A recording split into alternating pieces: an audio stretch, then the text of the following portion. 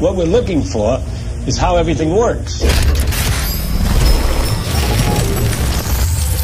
What makes everything work?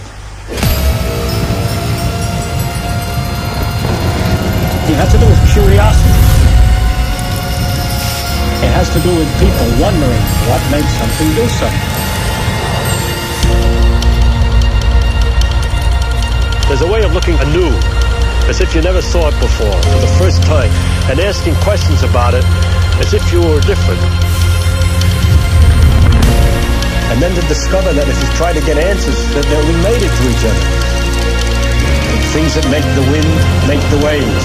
And the motion of water is like the motion of air, is like the motion of sand. Things have common features. Turns out more and more universal.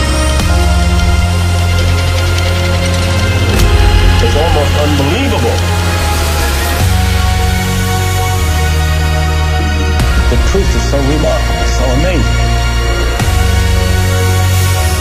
It's incredible. Take the world from another point of view. It's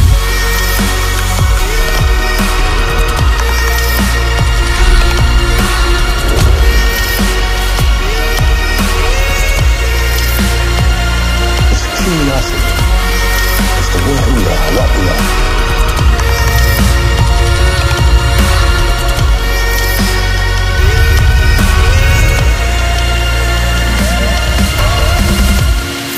Like a runner gets a kick out of sweating, I get a kick out of thinking. I can't stop. It's curiosity.